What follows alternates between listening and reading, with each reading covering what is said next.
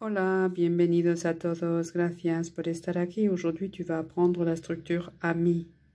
Me gusta, a mí no me gusta, a mí me gustan, a mí no me gustan. A ti te gusta, a ti no te gustan.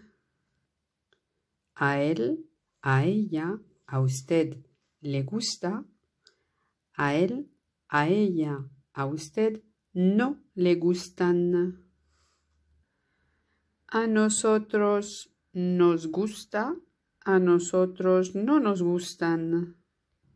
A ellos, a ellas, a ustedes no les gusta, a ellos, a ellas, a ustedes les gustan. A él le gusta comer tapas, le gusta comer. Ça termine par un A lorsque c'est suivi d'un infinitif. A vosotros.